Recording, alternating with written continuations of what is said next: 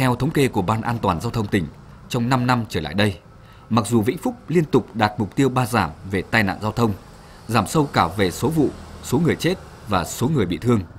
Song năm 2014, trên địa bàn tỉnh xảy ra 50 vụ tai nạn giao thông, cướp đi sinh mạng của 39 người, bị thương 23 người.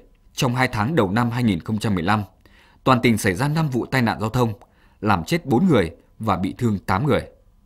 Các vụ tai nạn giao thông nghiêm trọng xảy ra gây ảnh hưởng rất lớn đến cộng đồng xã hội và làm tổn thất của cải đau thương mất mát cho các gia đình.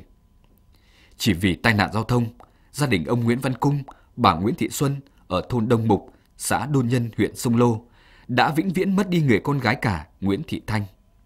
Chị Thanh ra đi ở tuổi thanh xuân tràn đầy sức sống và một tương lai tươi sáng đang rộng mở. Vừa tốt nghiệp đại học, chị Thanh được nhận vào công tác tại Viện Công nghệ Sinh học thuộc trường Đại học Bách khoa Hà Nội. Trong chuyến công tác đầu tiên đi thu thập nguyên liệu phục vụ cho việc nghiên cứu khoa học tại tỉnh Lào Cai, chị gặp nạn trên đường và mãi mãi không còn cơ hội được đền đáp công ơn sinh thành và nuôi dưỡng của cha mẹ như chị mong muốn. Nỗi đau mà gia đình chị Thanh phải gánh chịu không thể có gì bù đắp được. Ông Nguyễn Văn Mãi, bác ruột nạn nhân Nguyễn Thị Thanh chia sẻ. Ban an toàn giao thông của Vĩnh Phúc đã đến với gia đình chúng tôi trong những lúc mất mát và động viên kịp thời cho gia đình chúng tôi trước hết là chúng tôi đã cảm ơn với, với, với theo đường lối của đảng và sự quan tâm của các ban ngành trong tỉnh huyện trước hết những cái phần mà để à, nói lên là Ờ, động viên gia đình chúng tôi chúng tôi cũng không biết nói gì xin được cảm ơn với tất cả các ban lãnh đạo ờ, đã quan tâm đến gia đình chúng tôi còn đối với gia đình bà Phùng Thị Đức ở phường Hội Hợp, thành phố Vĩnh Yên có hoàn cảnh vô cùng khó khăn. Bà Phùng Thị Đức là trụ cột lao động chính trong nhà. Tai nạn giao thông đã cướp đi sinh mạng của người phụ nữ tội nghiệp, hàng ngày chỉ biết bán mặt cho đất, bán lưng cho rời.